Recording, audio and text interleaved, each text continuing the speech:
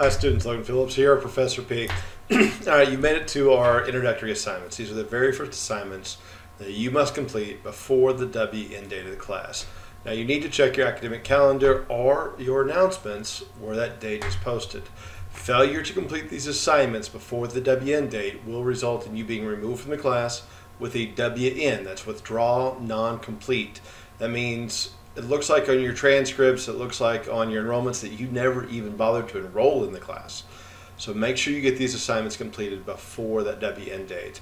Now there are only five of them. These shouldn't take you very long. They are very quick to accomplish. You've watched all the introductory videos, you've read the introduction materials. It's now time to get in and accomplish something. The very first one is the copy of the master syllabus and the filling it out. This is your syllabus assignment. Get the syllabus, fill in the blanks, upload it. That's assignment number one. Assignment number two is your pacing schedule assignment. Get the pacing schedule, fill in the blanks, upload it. That's assignment number two. Assignment number three is your syllabus quiz. Now, your syllabus quiz will cover all the material from your syllabus, your pacing schedule, and any of the introductory videos. You must complete the syllabus quiz to stay in it. And again, 10 minutes most. You'll be able to accomplish it with no problems. There are module instructions on how to accomplish this. The criteria is you have to score at least a 70% or higher to make sure that you get this assignment completed. Then we have the introductory, uh, introduction discussion board. You need to introduce yourself to your fellow students. You have to interact with other human beings. Sorry, that's the way it is.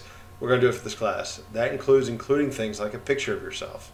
Now, if you are really photo displeasure, you don't want to show yourself, something has going on, you have a reason, show me a picture that most best represents who you are or who you project yourself to be. That's good enough for me. Just something that shows your personality and who's in this class. And then complete the anti-cheating pledge, plagiarism quiz or pledge. Now this, you just have to put your name on it, call it done. Literally will take you less than a minute. Um, failure to do the pledge doesn't mean you reject the pledge and you're allowed to do all kinds of cheating. You still have to do it. If you don't do it, you just don't get the points, but you're still held to the same standards. So make sure you go in there and get those points, sign your name to it, call it done, get it.